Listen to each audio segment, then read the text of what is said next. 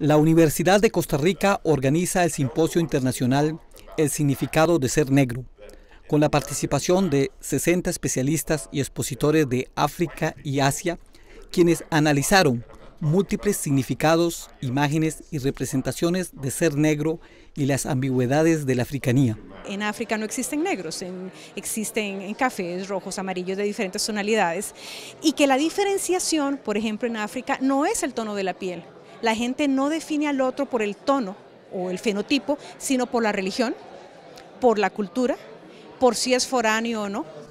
Los especialistas plantearon interrogantes como ¿qué significa ser negro? ¿Cuándo alguien es negro y cuándo no? ¿Cómo las percepciones de raza han cambiado con el tiempo? ¿O cuál ha sido el lugar de los negros en la construcción de las naciones y las identidades en Hispanoamérica? En el marco del encuentro se presentó un libro de la estadounidense Laura Putman, cuyas investigaciones giran en torno al tema de género, poder y migración en el Caribe costarricense desde 1870 a 1960.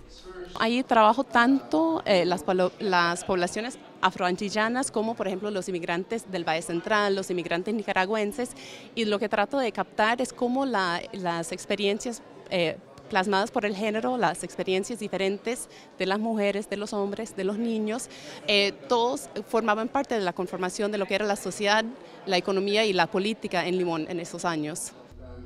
Durante el simposio también se abrió un espacio de reflexión en torno a temas como reconocimiento, justicia y desarrollo, así como sobre los programas de educación en Costa Rica en torno a las poblaciones afrodescendientes como sujeto social.